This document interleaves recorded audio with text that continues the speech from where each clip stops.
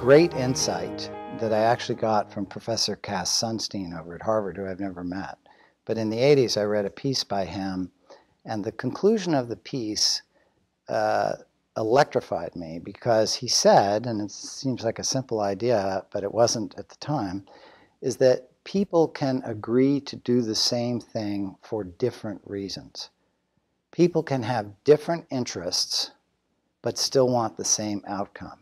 Now, somebody who's trained in theology and moral philosophy, where you're usually taught, let's get everybody to agree on the same values, and then all the actions will flow from that. The idea that people could have very different values or goals or interests and still agree on the same outcome was a revelation. And so, what I realized in the particular case of the Global Reporting Initiative was that there were a lot of people who wanted to see this particular mechanism come into being for different reasons. So I didn't have to waste time saying, you, ma- Madam Corporate Executive, you need to agree with the reasons that are motivating the activist or the investor. Your reasons are good enough, and we need to work on this together.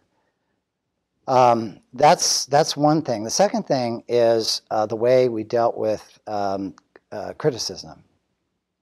So, uh, in the early days of this, and I actually write about this briefly in, in the uh, Song in the Night book, um, people would come to me and say, This is going to fail. You know this is going to fail, and it's going to be a mess. I don't even know why you tried it because the whole thing was stupid. And I would say, You know, um, you're right. It's probably going to fail. But you know, with the expertise that you have, it would be so much less likely to fail if you were involved. And they said, oh, I said, oh, that's okay. That's all right. Look, what I'd like to ask you to do is we're down on the field trying to sort this out. And what I'd like you to do is stay in the bleachers, keep a close eye on us, keep a close eye on me. Here's my email.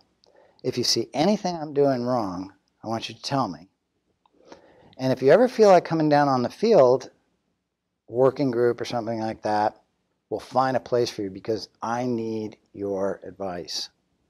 And so people would go away grumbling, you know, but three months later, six months later, I get a call saying, you know, I, I've been thinking about this and seems to be going a little better than I thought, and I'd really like to be involved in the question of assurance, kind of a technical question. I said, well, my gosh, I just, I, I got 15 people on the insurance. I'm looking for four more. Would you like to join? And I saw dramatic transformation.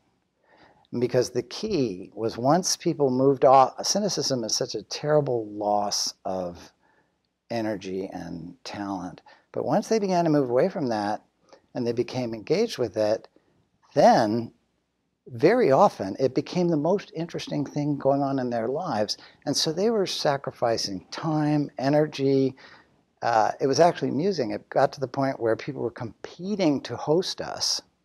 You know, like I want you, you know, like, and come to my building because I want my boss and my, to, you know, you got to come here. So we were invited all over the world. We never had to pay a dime to meet anywhere. Um, but it was a process of, you know, meeting people where they are. I didn't say you're wrong. I said you're right. But here's what would really help. Now, a couple people, you know, still think I was an idiot.